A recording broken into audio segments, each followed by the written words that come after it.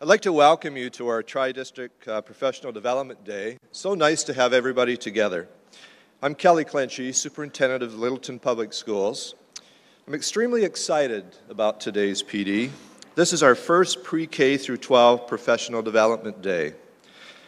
About four years ago, Dr. Malone, Dr. Dwight, and myself met to discuss the possibility of sharing opportunities for professional development. We were interested in creating a platform that had its philosophical underpinnings aligned with the belief that some of the most effective PD is teacher driven, designed to create opportunities for sustained connections and partnerships, focused on opportunities for discussion and collaboration, and is designed to create opportunities for sharing best and future practices. Two years ago, we dipped our toe in the water and offered a high school professional development day to our staffs. Last year, we expanded our target audience and offered a 6 through 12 PD day. Today, we are so excited to be offering a pre-K through 12 professional development day. This wouldn't have been possible without the hard work and commitment of our curriculum directors, assistant superintendents, curriculum coordinators, grade level team leaders, technology staff, and the involvement of teachers who were willing to share their expertise. Today's professional development begins with teacher talks given by three teachers within our school districts, followed by 27 individual breakout sessions. All of these sessions focus on a common theme, engaging students in deeper learning. We hope that you enjoy a wonderful day of learning, collaboration, and inspiration. At this time, I'd like to introduce our, our Littleton's Interim Director of Curriculum, Mrs. Steele, who will in turn introduce this morning's Teacher Talk presenters. Good morning. Thank you, Dr. Clenchy. It is truly my great pleasure to introduce the first Teacher Talk speaker this morning, Mrs. Heidi MacGregor. Heidi is a natural born educator. However, before officially entering the education field, Heidi worked in the tech industry for 15 years. When she did make the transition to education, she taught fourth grade for 10 years at Russell Street School here in Littleton. Just last year, Heidi trans transitioned into her current role as the K 5 STEM integration specialist. As a makerspace enthusiast and solid educator, she is always looking for ways to amplify student voice. Heidi is a connector of people, technology, and ideas within classrooms across the state and all over the world. In being a connector, Heidi co-found the Middlesex Scratch Meetups, leads the MassCUE Makerspace Special Interest Group, and serves on the MassCUE Board of Directors as well as the MassCUE Professional Development Committee. Personally, I always love observing projects that Heidi has her hands in. Students and teachers alike are engaged in collaborative learning. She is incredibly motivated by her students and colleagues and how she can help provide a better, cooler, more unique educational experience for all. So without further ado, I introduce to all of you Mrs. Heidi MacGregor. All right. My working definition of student engagement goes something like this. Engagement is when students deeply internalize their learning experiences in a meaningful way that impacts their viewpoint and intrinsically motivates them to keep at it. It's not structured on compliance or going along without making waves or just being good. It's deeper than that. And as a teacher, I see my role as an influencer of student engagement and I willingly accept the challenge and the responsibility that that entails. I've thought about this at length and started shifting my thoughts to my own engagement in the education process. We as educators spend a lot of time focusing on student engagement, but our own engagement is equally as important. How can we possibly bring it if we're not feeling it? I want to wake up in the morning and feel invested and passionate about the learning that's going to take place throughout the day. I want to feel like I'm making dif a difference and that what I do actually matters. I want to let my edu awesomeness flag fly. Maybe you do too. Now, don't get me wrong, there are many external factors that I can't control that affect my feelings of how engaged I am, both positive, like when the PTA comes by with the snack cart, or when an administrator pops in with encouraging words, and negative. Let's not go there. you all know what I'm talking about. But I can only control and influence what I can control and influence. By focusing on what's in my sphere of influence, I find that I can be more purposeful and intentional around my own engagement, which I believe in the long run will enhance the learning experiences of the students that I serve. I'm a big believer in the one word movement. You know, when you choose an anchor word and it guides your decisions and intentions for a full year. This year, my word is authentic, which is partly why I'm standing here sharing my truth with all of you. But last year, my word was connection. I wasn't sure where this would lead me, but I was inspired by the work of Brene Brown on this topic. And when I started building on this idea of connection and thinking back to past experiences, I started to recognize that the times when I felt more connected and was actually cultivating connections, I was more engaged with my own teaching. Now, don't get me wrong, ever since I started this profession about 14 years ago, being an educator has permeated my life. I walk my dog every morning and I lesson plan while I'm going down the road. I cannot go to Target without picking up something for my classroom or makerspace. I've even had trouble sleeping, thinking about students who might be struggling and how I could better help them out during the school day.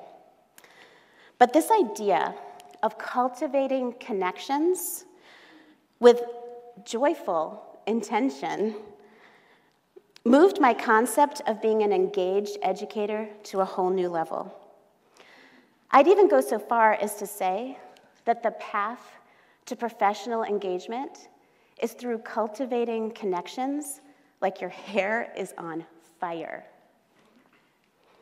Now, in the interest of sharing my thoughts with you today, I've organized my ideas around connection into four realms self, students, other educators, and the world.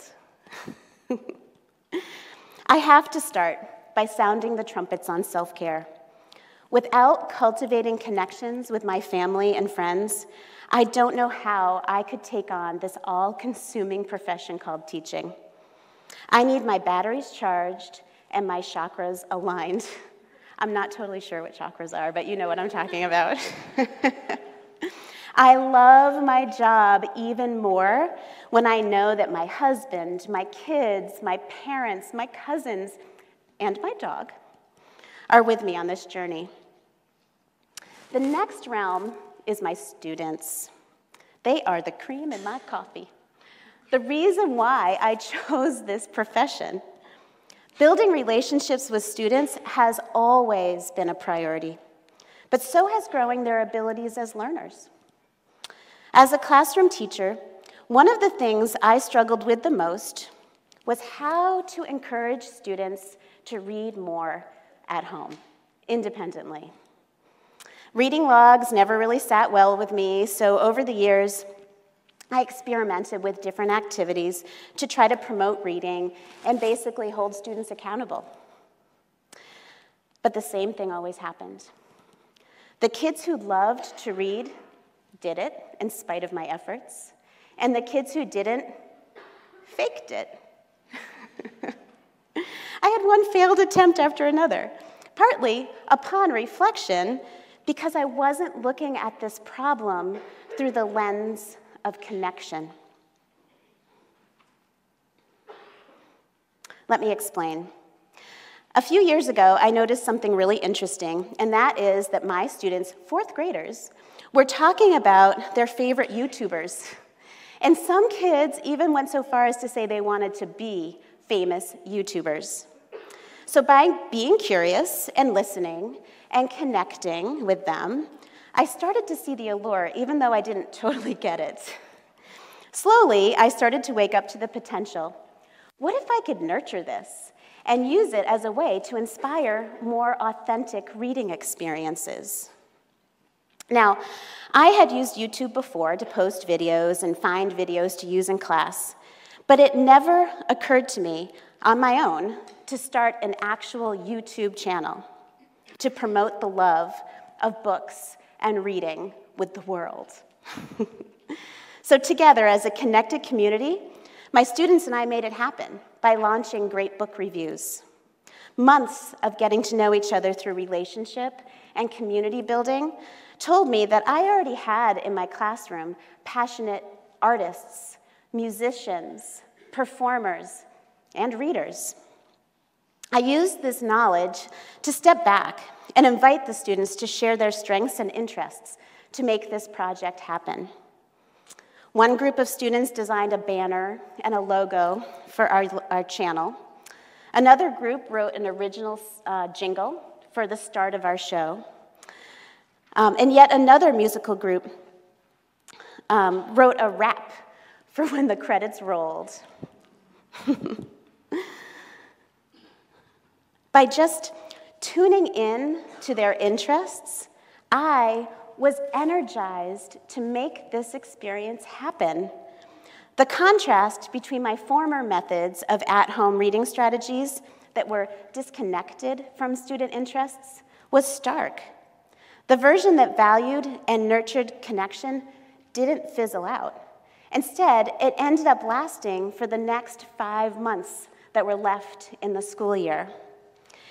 And it even led to several spin off projects that we created together, including two bilingual episodes that aired in Spain. Independent reading increased, and quite honestly, so did my love for teaching.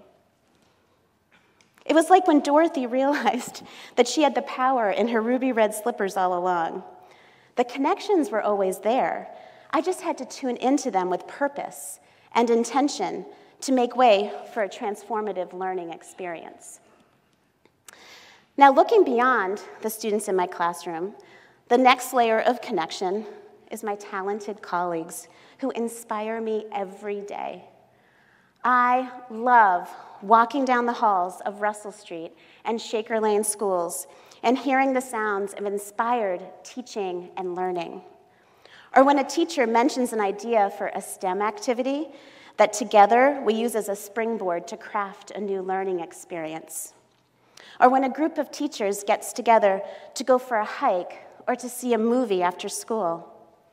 Connections help us build something really great together.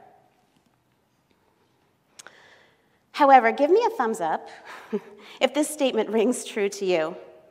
When I am teaching, I struggle to find time time to connect with other teachers in my building and beyond for meaningful collaboration and idea sharing. so, this is a great opportunity for me to make my pitch for why Twitter can help melt the walls away and give teachers more opportunities to connect. I can't tell you how inspiring it is when I see tweets from a Littleton High School teacher about strategies that they're using in their classroom. And sometimes I even catch a glimpse of a former student who I poured my heart and soul into. And when I see that he or she is still at it, I just want to double down on my efforts at the elementary schools now that I can picture where they're headed. Or when I see a tweet from a kindergarten class trying out a STEM challenge with gusto, I feel so inspired to create more. Twitter also allows me to get inspiration from other educators not in my district. A recent example that pops to mind is when I was trying to build my own competence around a computer programming language called Scratch. Um, I joined, I started uh, a, a group, we co founded a group for Scratch meetups. And around that time, I happened to see a tweet from an educator in Waltham about a project that he did in Scratch with elementary school students. So, on a whim, I messaged him to join our meetup group, and he did. His name is Zach. he showed me how to use conditionals in Scratch programming, which we are currently using in our fourth grade to do projects on how to code choose your own adventure stories. Each time one of our fourth graders masters this skill, I feel like it's a victory for me, the student, and Zach. Then I tag him in a tweet so he can celebrate success with me, which he does. These online interactions go a long way to keep me inspired and engaged in what I do, even on the days when I don't have the good fortune of collaborating face to face. This leads me to one more confession. Global connections rock my world. I figured this out about six years ago when I signed up for ePals, and I was partnered with Mr. Potter from Collingwood, Ontario. We decided to team up for a shared science experiment on stimulus and response. This led to videos, emails, and several collaborated, uh, collaborative writing projects. Not only were my students pumped to collaborate with a classroom from another country, I was equally as pumped. Being able to share an academic experience with the perspective of a skilled educator in another country brought me insights that I would never have had without that opportunity. Now, Mr. Potter has since retired, and over the years, I've reached out and found other global partners, and I plan to continue. Revisiting Brene Brown, she says that a connection is the energy that exists between two people when they feel seen, heard, and valued. When they can give and receive without judgment, and when they derive sustenance and strength from the relationship. I am a connected educator. I love my job. Connection is why we're here. I have big plans for more meaningful connections in my personal life, with students, with you, and with the world. But how about you? How will you use the power of connection to continue to light your teacher fire? Thank you. Good morning, everyone. Wow, how are we doing? Good morning, everyone. Much better. I'm Charlie Caliri, the Assistant Superintendent for Ayer Shirley, and it's my pleasure to introduce our next speaker. Uh, doing our next teacher talk is Courtney Powell. Courtney is a first grade teacher at our Lura White School, and I had the pleasure of meeting and getting to know Courtney over the past year with her involvement in our literacy leadership teams, our responsive literacy program, and also, most importantly, uh, through our Universal Design for Learning and our participation in our Inclusive Practices Academy.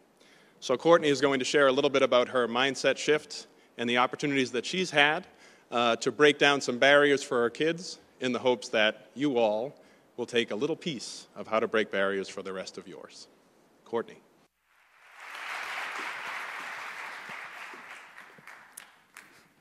Good morning. We good? Yes. People often ask me why I chose the field of education. My answer, I would imagine, is very similar to yours. I love children. And while I, of course, love teaching and the subject content, it's really the kids that get us up every day here or even into our classrooms. I'm here today to talk about my journey as an educator, how my mind has shifted greatly in my approach for my students, and how to best meet all of our students' needs. I am passionate that all students are capable of learning, and I truly believe that we can achieve great things in our classrooms. My passion for equity is deep rooted in who I am and starts with my family. I come from a, a, family of people who struggle with dyslexia. These three men each had a unique, difficult journey to overcome their learning differences. I remember my father telling me stories of being in the slow class in elementary, middle, and even high school. Of course, he attended school in the 60s and 70s, so much of what we've done with special education students has changed, or so we hope. He's explained that the general feelings of the classrooms that he was in were that you were nothing. You weren't going to succeed, just get through the 45 minutes, and you're no longer my problem. He was secluded from his other friends. Isn't it a strange, self fulfilling prophecy that many of the people that my father attended school with lived very difficult lives? Without my father's unflappable determination and work is never done attitude, his own life would have been very different. It was the struggles that I witnessed with my brothers and my father that inspired me to become a special education teacher. I vowed to break that cycle, and I thought I was doing just that. Prior to teaching at LAW, I worked at the FLLAC Educational Collaborative as a substantially separate autism spectrum disorders classroom teacher. I worked with students from K to 5 who presented with a variety of cognitive, behavioral, social emotional, mental health, and even trauma based disorders. It was a busy, rock and roll, dynamic classroom, but I loved those kids and I loved coming to work every day. Yes, I can was our motto. I fostered a strong belief that every child was capable of learning, and I fought for my students to have the same rights as their typically developing peers. I do believe that I made a difference with those students, but I know now that if I had been given the opportunity to teach again there, I would do things very differently. After teaching in sub-separate for seven years, I wanted to test the waters in the general education setting. I thought I would be the perfect addition to an elementary classroom. I knew how to teach every student. Within a year, I joined our district's inclusive practice team. We began a journey of universal design I told myself I would be perfect for this team. I, of course, knew how to do this. This was going to be a breeze. But I quickly realized what I was doing in my own classroom was exactly the opposite of what I had vowed to do. If a student in my first grade classroom struggled with addition, I gave them a number line. They struggled to write, I'd scribe for them or give them a template. I was allowing them to be successful. It was in my own journey, though, that I realized I was, in a way, no better than my father's teachers. When I follow a student and consistently pull them for a small group, I'm telling them that they can't do something. When I modify everything that they do or sit close to them, I'm telling them that they are unable. Maybe I don't say it out loud, but as six and seven year olds, they're already starting to categorize themselves as good or bad. It's that self fulfilling prophecy. If I tell you you always need help, you will. It was through my journey that I began to understand the stark difference between what I was doing and what I could be doing. At the beginning, I identified what you needed in order to be successful. But now I offer options that might help, and you choose what you need. You see, we're all less than in some areas of life and greater than in others. I would consider myself to be above average in understanding child development, probably to about age 12. Once they get into those teenage years, not my thing. I've taken coursework, I've completed research, I've worked with diverse populations in both elementary and early childhood levels. Comparatively, I would consider myself way below average when it comes to my ability to fix things around the house. Last year, I owned a small condo, and the water heater was in the guest room up in the um, closet. I was putting away some winter clothes, and I realized the water heater was leaking. And by leaking, I mean gushing.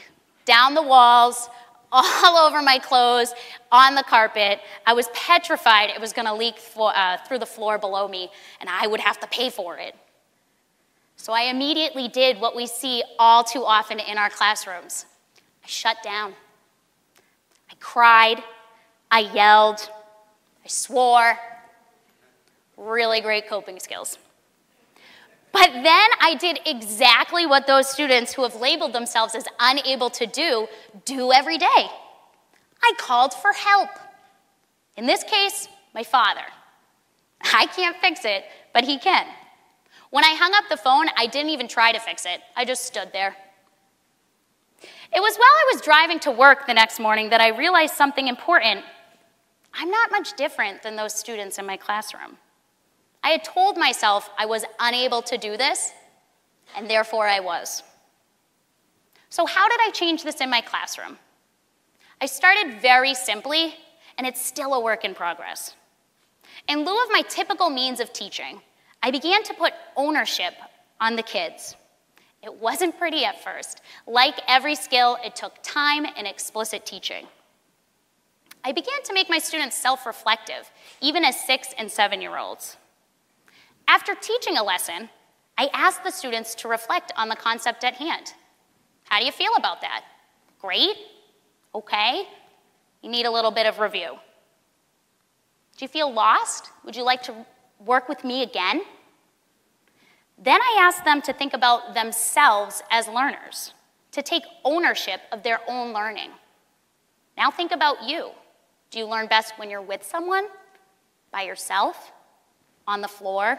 Standing with manipulatives when you can draw.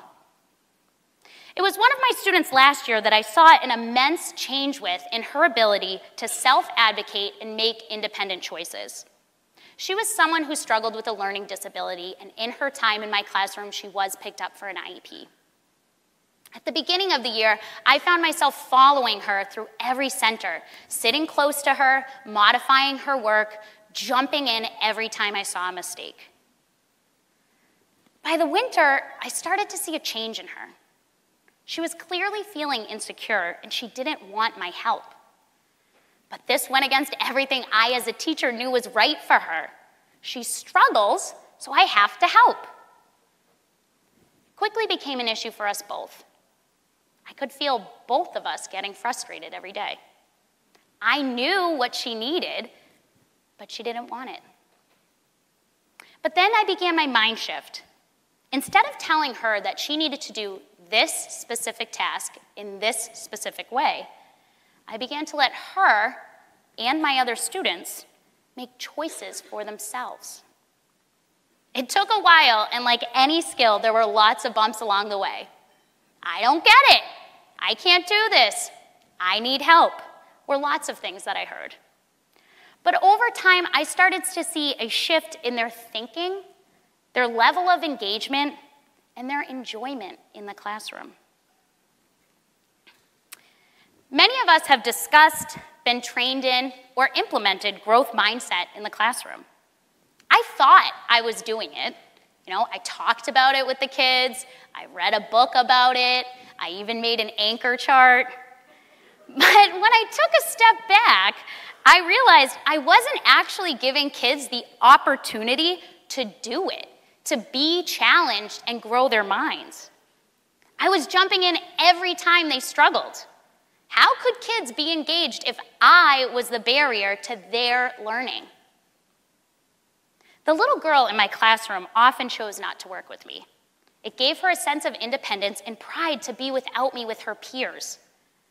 I remember one day she was working on a math problem and she totally set it up wrong and I was physically grabbing the chair not to go over to her. But then something amazing happened. She saw the problem, she fixed it, and she did it right. When we lower our standards for our struggling students, they stay there. When we jump in and we help our students every time they struggle, they become prompt dependent and helpless learners. It's our natural instinct as teachers to help. That's why we came here in the first place. But I realized through this journey that sometimes helping is causing the struggle to occur. By the end of the year, that student was able to identify areas where she needed help and she asked for it. But most importantly, she knew what she was good at and she saw herself as a confident learner.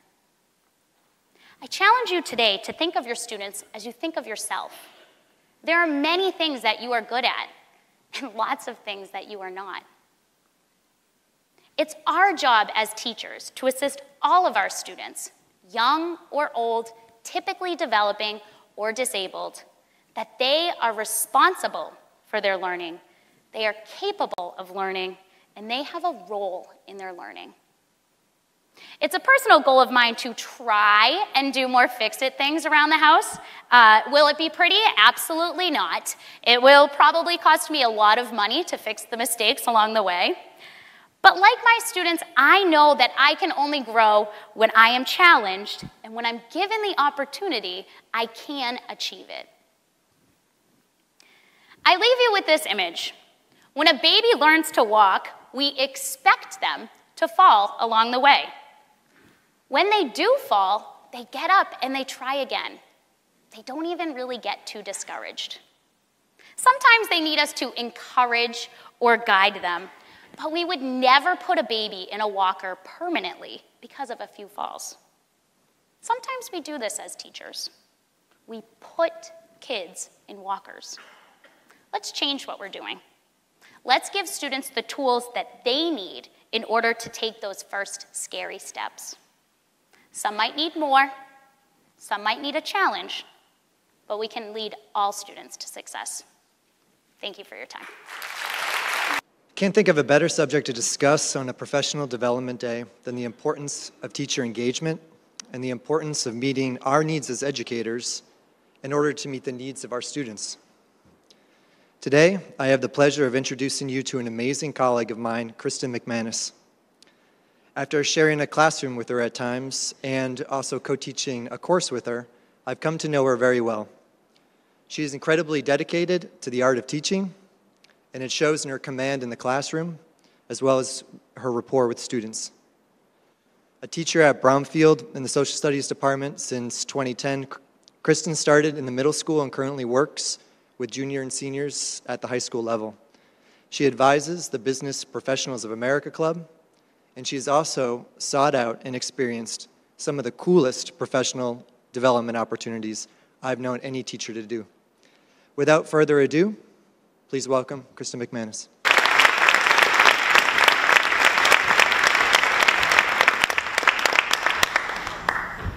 Good morning. Good morning. Actually a resident of Littleton, and so I see some of my own kids' teachers here. So shout out to the teachers at Shaker Lane School and the Russell Street School. But today I am here to talk to you about professional development, or PD. We all know that not all PD is created equal. Some we have to take because of licensure requirements, and it might not be something that we're incredibly interested in. Some we take because of district initiatives or because it fulfills the requirements of a graduation program we are enrolled in. But today, I'm here to get you to start thinking of PD in a different way. Fair warning, I am a history teacher, and as such, I love to tell stories. And I often teach my students as if I'm telling a story. So I'm going to start you off with one. I remember being 22 years old and first starting in this profession. I was an eighth grade U.S. history teacher and completely clueless about this thing that they called professional development. I had no idea how it related to my licensure or if it was even worth taking. So that first year, my school had enrolled in the Teaching for American History grant program, and we're offering week-long professional development in the summer. I kind of figured, well, hey, I teach American history. I should probably take that. So I signed up, and I must admit, I was probably way more interested in the stipend that it was going to provide, and perhaps the graduate credit that it was going to provide. And I say this without qualm because I know we have all been there. Money talks, especially when it's to a 22-year-old first-year teacher who is holding down three jobs and facing the first of her student loan payments. So, I signed up for this course in slavery in New England, and I was hooked. It satisfied me on two very basic levels. The first, my geeky, history-loving self, I locked that stuff right up. I couldn't get enough of it. And the second was that it actually taught me strategies and project ideas and lesson plans that I could bring in my classroom. I was so excited to get back in the classroom that I forgot that it was July and I had to wait another month. So, from then on, I have consciously decided to approach professional development with two goals in mind. First, can the PD satisfy my geeky interests? Is it something I enjoy or is it something I know a little bit about and would like to know more about? I see myself as a professional student, so it all comes down to whether or not this PD opportunity will let me be a student and not just a teacher. And second, can it help me teach? Does it inspire me to teach? Does it give me strategies that I can use in my classroom? Does it inspire me to want to make lesson plans based on what I've learned? In my mind, and this is going purely from my own experience and no research whatsoever, these should be the two cornerstones of valuable professional development. One, can I learn something to satisfy my geeky interests? And two, will I learn useful things to implement in my classroom? I think it's important for us to see that there is a distinct connection between student engagement and teacher engagement. So let's take a little detour for a minute. If you think about the non-education world, an important part of managing your employees is making them happy. So let's think about some companies and the way in which they go about doing that. Some companies have, you know, great holiday bonus plans, right? Or perhaps they have wonderful health benefits. Some companies have nap pods for their employees to take a quick snooze in the middle of the day. Can you imagine nap pods? Be amazing. Sometimes we see workplaces with free coffee, snacks, Sometimes we see workplaces with foosball tables or ping pong tables. But let's face it, we are teachers, right? Um, our health benefits are shrinking. We sure don't get nap pods. And we never get holiday bonuses because in our profession, that really just isn't the norm. So in the absence of these types of job perks, I have made it my goal to try to influence my own job happiness because my happiness as a teacher will directly impact my behavior in the classroom. And I should note, I look for free or cheap professional development opportunities as well. Those are the best kind. While I may not be able to take naps in the middle of the day, I can try my best to embark on opportunities that will engage me in the summertime, sustain me throughout the school year, and then make me look forward to something in the next summer as well. I am lucky enough to be part of a school community that is not only extremely supportive of professional development, but I am also part of a teacher community that has a huge amount of talent. To help illustrate my points, I'm going to tell you a little bit about some of my own professional development opportunities and give you examples of some others as well. In the fall of 2016, I approached one of my colleagues, Elizabeth Horniman, who's an art teacher at our school. I found this cool thing, very randomly, where it was an organization called Fund for Teachers. They funded grant opportunities for teachers to create their own professional development experience. So if you want to take a trip, they will fund your flights, your lodging, your food, conference fees, and so on and so forth. So I took a step back and started thinking of my own dream professional development. For me, it would entail travel, and then it would entail something that I have always wanted to do. I had always wanted to go on an archaeological dig. I never had any aspirations of being Indiana Jones, but still, that was what I was thinking I wanted to do. And so I started doing some research and found a few options, and the most appealing one was to go to Italy. Elizabeth and I sat down for many hours, wrote this grant, applied, and we got straight up denied. and rightfully so. We did work hard on that grant, but it could have been better and it could have been lots more focused. And so we vowed that we were going to regroup and write again the next year. Perhaps you heard about an incident in that same fall of 2016. It happened at our school and it made the local news. Our school experienced an incident of vandalism on a rock that the students paint for school and team spirit. It's located right in the front yard of our school. There were symbols of hatred and discrimination graffitied all over it. In response, administration had a principal assembly. They brought in diversity speakers. Teachers had lots of discussions about school culture and climate. The students formed their own groups, and there was a community group formed as well. But despite this, more hateful symbols were still showing up around our school. As a faculty, it was shocking to us to learn that students really didn't understand the significance and the seriousness of a swastika and other hateful symbols of discrimination. Since that time, it was clear that the teachers and the, and the administration and the students really need to work together to educate the students and foster a more positive school climate. So Elizabeth and I put these two things together. We realized that we could link uh, the school climate and negative symbols by studying ancient symbols. We went back to the drawing board and decided to write another Fund for Teachers grant. Our hope was that we would travel to the northern mountains of Italy, where we would study ancient rock art on an archaeological dig, and then we would travel down to Naples and go to Pompeii and the National Archaeological Museum to find out about what happened and what was left behind after the volcanic eruption at Pompeii. Our essential question guiding this was, how do symbols emerge from, define, and impact a culture? Our hope was to learn all that we could while we were in Italy and come back to school to engage the students and teachers in a community service learning project.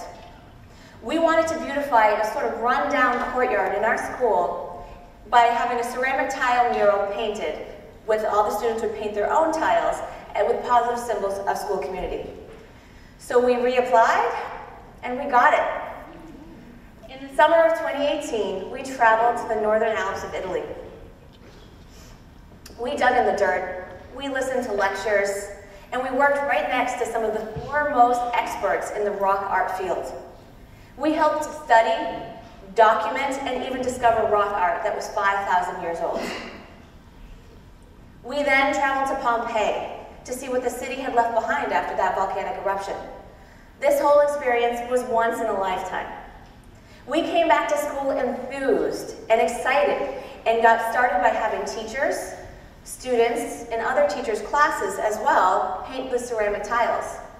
We enlisted the help of the garden club to make plans on taking out the plants in the courtyard. And we also applied for a Harvard Schools Trust grant to, to provide money for supplies. As of now, we're about 300 tiles in. We do still have about 500 more to go, but we hope to continue this project in the next year. So this trip helped to solidify my belief that professional development that is valuable needs to have these two major things. First, this totally met my geeky interests. And second, it inspired me to want to go back to my classroom and engage my students. So I figured, okay, let's try again. Let's look for another PD opportunity that could meet these two goals and test my theory out a little bit. So this past summer, I applied for the Supreme Court Institute. I should also note that this was my second time applying. You can't tell, I'm persistent. Anyway, I was lucky enough to be accepted. I traveled to Washington, D.C., where I took classes with 29 other educators from across the country. We attended workshops at Georgetown Law and heard from law clerks who worked for Supreme Court justices, attorneys who worked for the Department of Justice and the White House, and attorneys who had argued 20 plus times in front of the Supreme Court.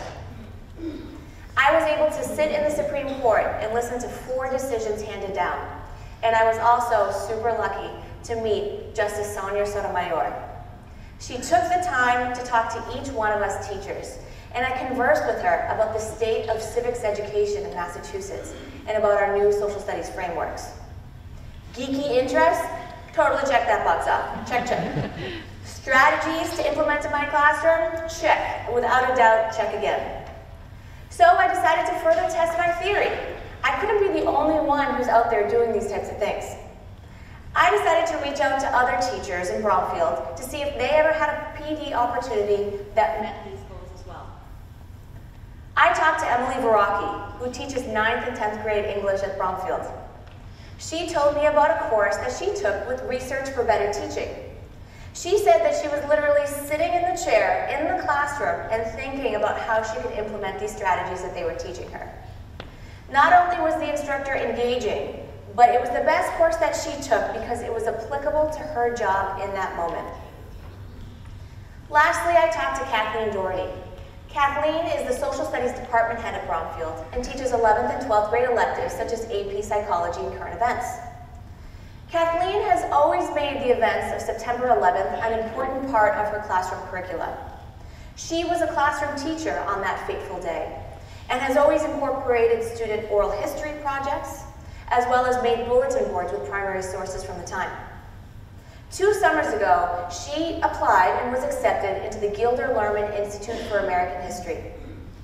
She went to the 9-11 Memorial and Museum in New York City and took classes with survivors, first responders, and victims of 9-11. She maintains that it was one of the best PD opportunities that she has ever experienced. She was engaged, she was eager to learn more, and she was eager to bring back what she learned to school. Later on that year, she organized a community event to hear from Captain Brenda Berkman. Captain Berkman was a New York City Fire Department and first responder in 9-11. I brought my own classes to hear Captain Berkman, those are a few of our students, and I was so thankful to Kathleen that she was so inspired by her PD to come back to school and to provide these opportunities to our students. To sum up, if we want to engage our students in the classroom, teachers need to be engaged as well. We need to seek professional development opportunities that challenge our intellect and that teach us strategies to implement in the classroom. We all teach because we are passionate about kids, but also because we are passionate about the grades and the subjects that we teach as well. Therefore, we need to harness that passion, use it in our classroom, and inspire that passion. I encourage you all to rethink your approach and seek out professional development opportunities that make you excited to learn and excited to engage students in your classroom. Thank you very much. There are so many additional thank yous that we really need to acknowledge. This day is a true collaboration from start to finish. So we would like to thank the teachers that will be presenting today. Thank you to Senior Caitlin Boyer, who is in charge of sound and lights and general tech help for us today. She's in the back. Thank you, Caitlin.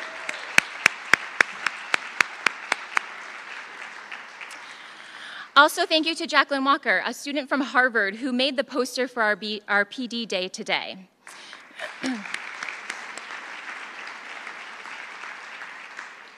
Additionally, we would like to thank our student volunteers, who you will see throughout the day throughout the building, helping us guide um, our visitors to various locations, including the green screen, which can be found in the library. So visit there if you have a chance.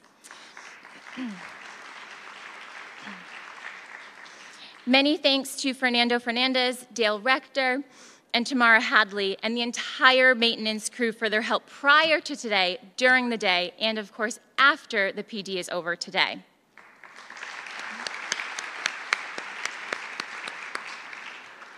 Many thanks also go to John Overcash, Mary Lou DeVellis, and the entire cafeteria staff who have worked really hard to provide the light refreshments this morning, as well as what will be our delicious lunch this afternoon.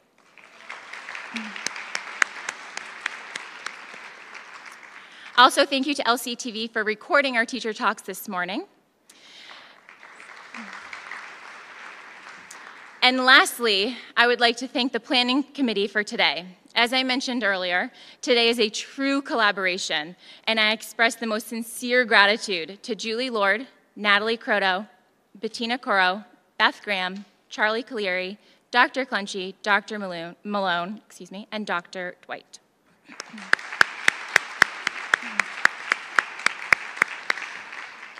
And now I think we're all ready to stretch our legs. So we are ready to go out and begin the first breakout session. Thank you very much.